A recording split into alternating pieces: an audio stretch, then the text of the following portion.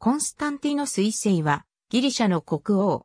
ギリシャ国王ゲオルギオス一世の長男として1868年にアテネで生まれた。母はロシア大公女オリガ・コンスタンティノブナ。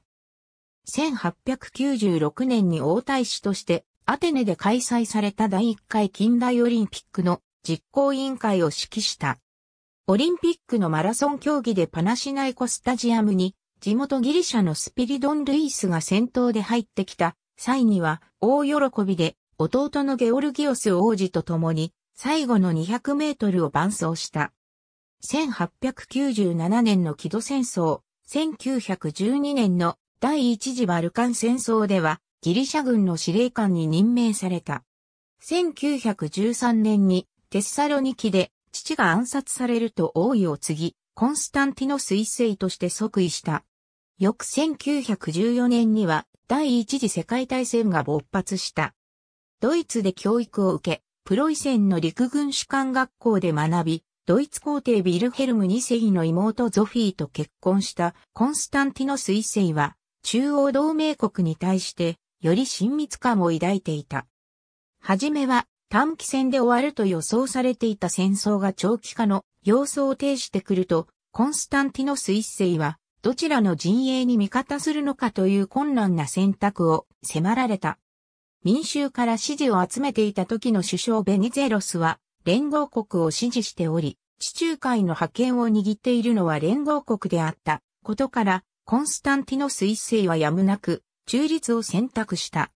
連合国側がガリポリの戦いに敗れると、コンスタンティノス一世は1915年10月、ベニゼロスを解任し、自身の意のままになる人物を首相に任命した。解任されたベニゼロスは、テッサロニキにおいて連合国の指示のもと、暫定革命政府を組織、コンスタンティノス一世と対立した。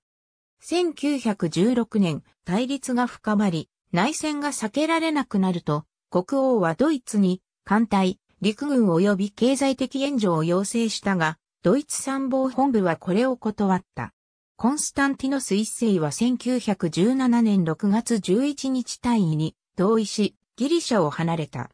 王位は次男のアレクサンドロスが継承し、コンスタンディノスはスイスにおいて亡命生活を送った。